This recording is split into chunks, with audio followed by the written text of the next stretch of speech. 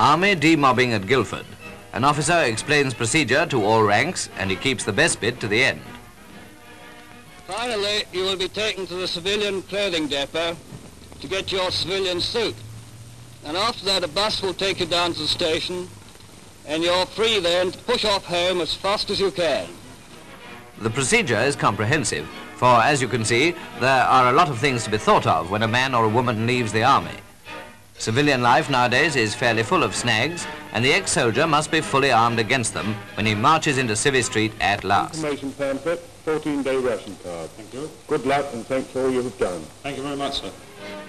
Everything seems to have been well organised, as you'd certainly expect in the army of today, and the issue of civic clothes has been worked out in a far more understanding way than it used to be. The final scene is what Sergeant Easton and almost all his comrades, I dare say, had been dreaming about for years. Civvy Street? Straight ahead, chum. Before the end of the year, it's expected that three quarters of a million servicemen and women will have been released. Scenes at Chatham, the lucky ones in the Navy to get out first. Petty Officer Manning was one of them, and quite rightly, he wasn't taking any chances.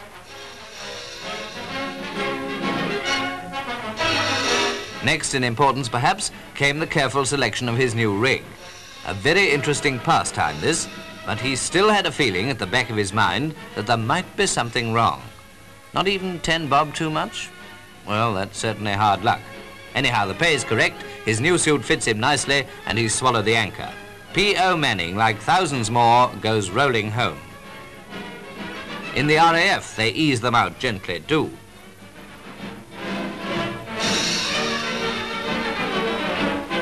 While details are being checked over, the RAF thoughtfully provides a cup of tea for the men who are now almost, but not quite, civilians again.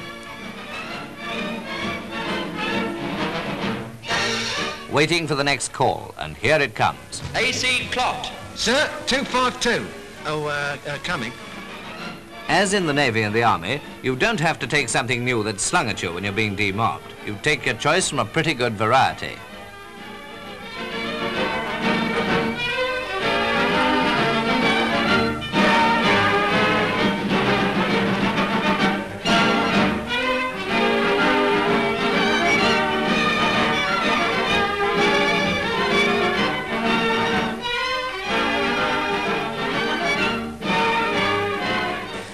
Gosh, I wonder what the missus will say to this outfit.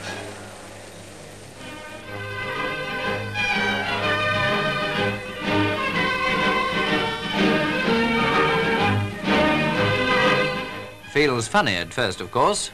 Looks funny, too, until you get the right fit.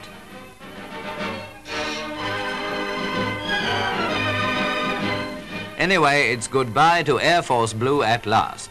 Sometimes it seemed that this day would never come.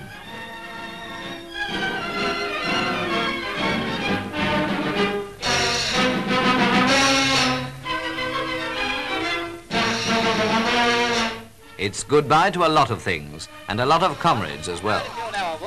I feel fine. Well, cheerio. you can't put me on the face now, old top. No more pushing me around, he thinks. But Civvy Street takes a bit of getting used to.